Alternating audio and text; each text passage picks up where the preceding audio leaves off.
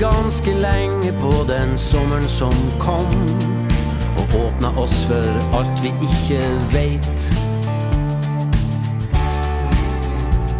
Og lærte oss om ting vi ikke ennå helt forstår. At jord og hav og himmel kan bli ett. Det var barføtt med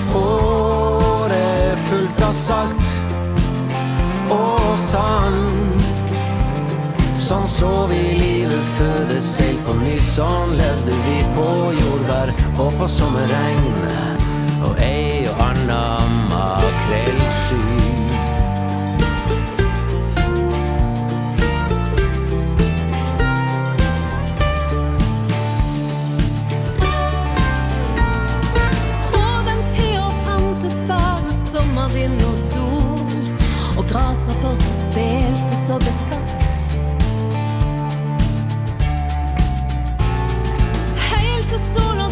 I havet og forsvant. Og livet blei en fjørlett sommernatt. Det var barføtt med håret fullt av salt og sand. Sånn så vi livet føde seil på ny, sånn levde vi på jordbær og på sommerregn. Og ei og anna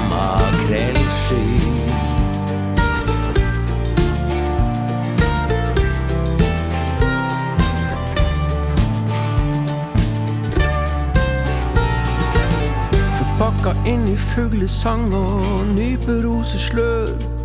Og blåklokke og kløvereng. Og litt sand.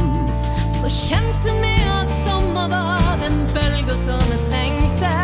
Som løfta oss og bar oss trygt mot land.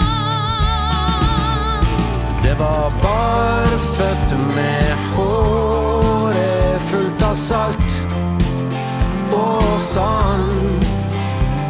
Sånn så vi livet fødes seil på ny, sånn levde vi på jordbær og på sommerregn.